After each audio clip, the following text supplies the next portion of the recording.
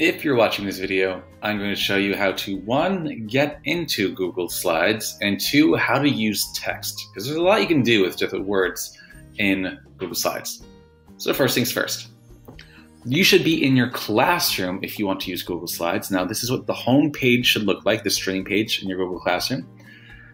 And to get to Google Slides, it's actually pretty easy. If you look in the top right corner, you'll see there's these nine dots hanging out over there. So give it a click, and you'll reveal that one of the options is Google Slides. It's a bright yellow page, you can't miss it. So give that a click.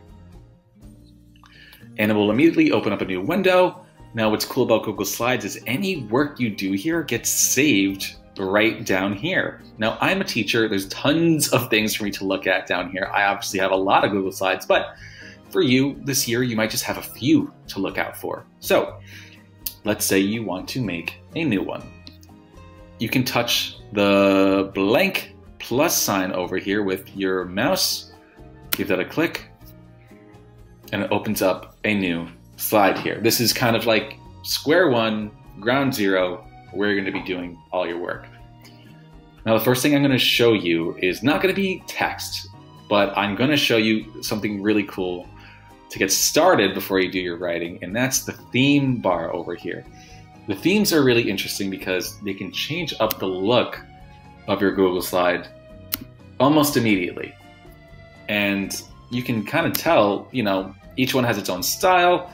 All the words are placed in different places. There are different fonts, there's different colors at work here. So if you want to get started, you can choose, you know, one of these to get started with Let's say you don't like any of them, that's what the blank is for. But personally, I'm going to use this black one because I think it's easier on the eyes.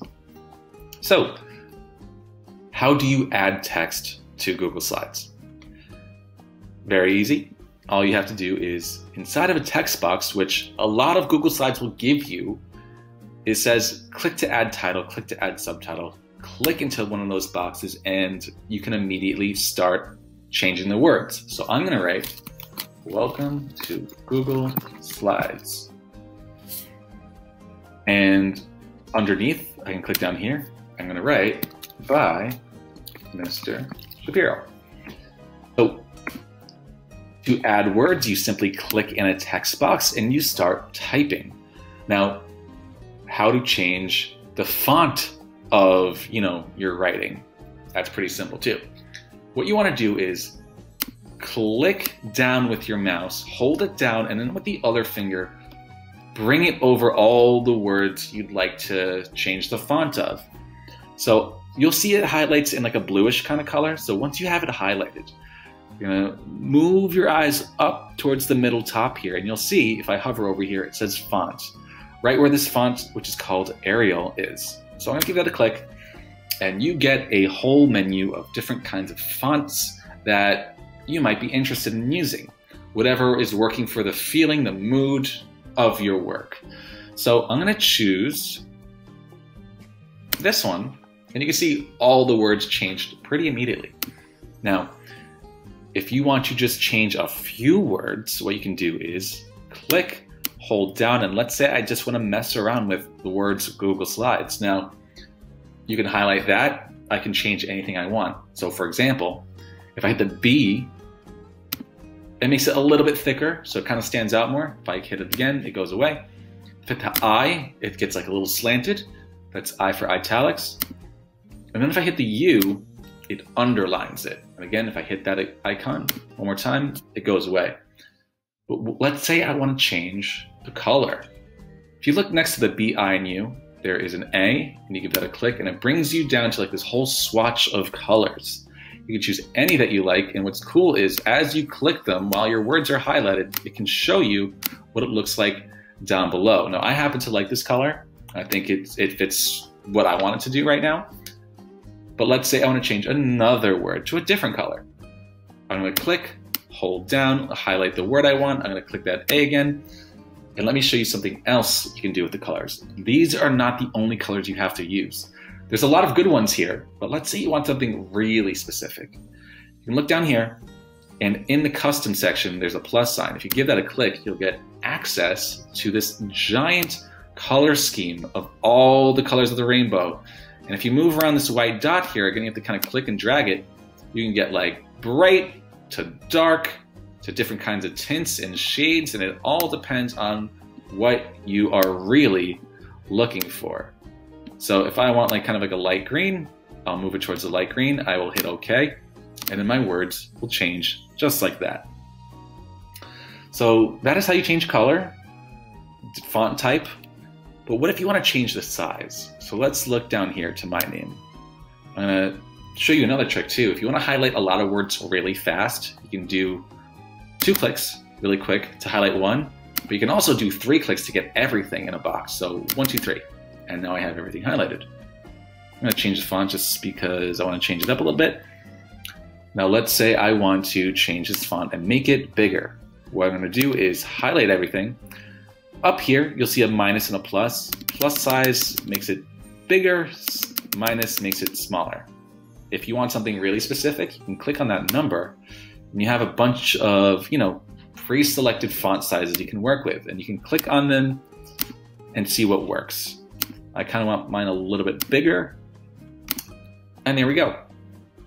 You can do that also with, you know, single words, you can do it with all the words, whatever you're highlighting, you can pretty much change. So that's pretty much how font works. I'm going to show you one last trick though. What if you don't have a text box to type in? Because these ones kind of came with the slide. I can kind of mess around with these any way I'd like. What if I need to make one? Well, here's what you want to do. Click away on like the gray space here. And up here, you'll see a T kind of trapped inside a little box. If you click on it, which says text box, your mouse will change to a plus sign. And what you can do is if you click and hold down with one finger and then drag with the other one, you can make your own box depending on if you want it really small, if you want it really big, and then I can let go of it. So now I can start typing. Hello, everyone. Right? Now, let's say I want to get rid of text. Let's say I maybe wrote too much, or maybe it won't fit on this page, or I need to put it somewhere else, or maybe I just don't need these words anymore. What you want to do is click on it. You'll see a blue box start to appear, uh, which you can also change the size of, which is really helpful. If you grab some of these corners on these little blue squares, you can change the size of this box. But if you want to get rid of it, click on one of these lines in between these blue boxes click on it, and then hit the delete button. And now it is gone forever. However, you can also do one, some other cool things with it too. If you wanted to turn a text box on its side, there's this blue circle here. And if you hover over it, your mouse will turn into like a little plus sign. Click, hold down, and now you can rotate it. So it can be like, you know, all the way upside down if I want it to be. Or I can do it sideways, which is a little hard to read. You kind of have to turn your neck. But um, you can do all sorts of placement with it and then move it around again by clicking on this blue line here. That's how you can move things, so you can delete it. That's pretty much how you can control the text box. So that's pretty much it. Hopefully you got a lot out of this, you know, tutorial. If there's anything else you need to know, um, you can always play around with you know, looking up here, again, if you click on the text, you'll see your menu kind of changes. Because if I click away, none of it's here. But if I click on the words, they reappear. And then you can also do really cool things too. Like um, if I highlight these words, I hit these three dots, I can put my words in the center, which they already are. I can move them to the right, which they kind of, you know, you can change the placement of it. You can also add, if you ever wanted to, you can put bullet points here.